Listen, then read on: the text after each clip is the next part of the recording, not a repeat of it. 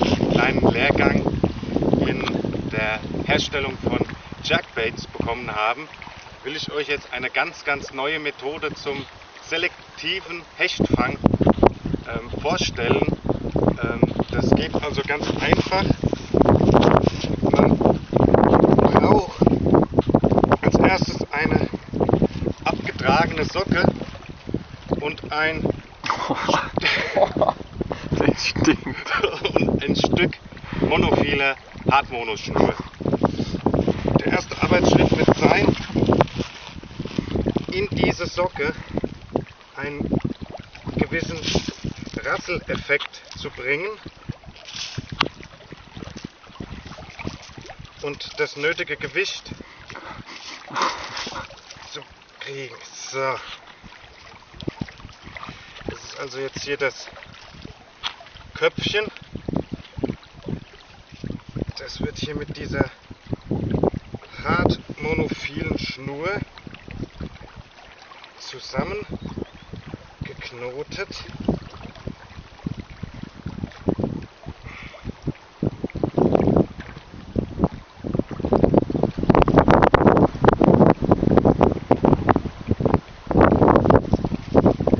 Und schon hat man einen herausragenden Köder. Das war alles. Fertig. Ohne Haken. Ohne Haken. Die Hechte, die sind sehr selektiv, da sich die Hechte mit ihren Fangzähnen hier in diesem Gewebe festhaken. Wie heißt dieser neuartige Köder? Die Wollsocke.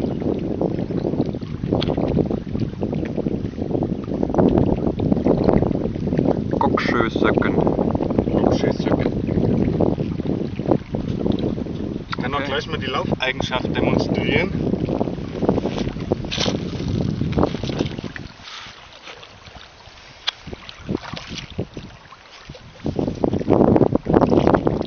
Feuchtet werden.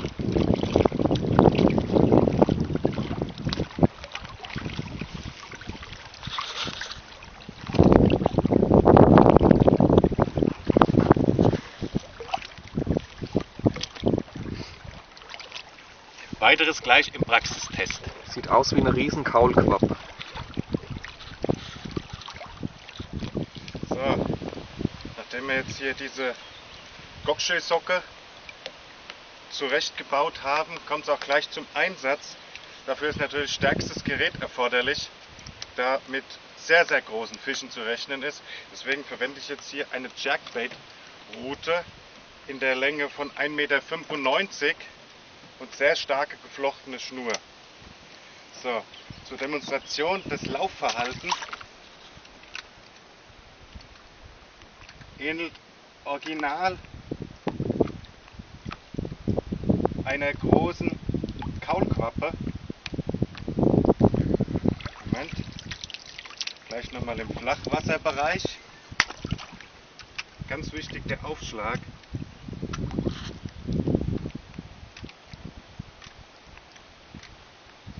Das reizt die große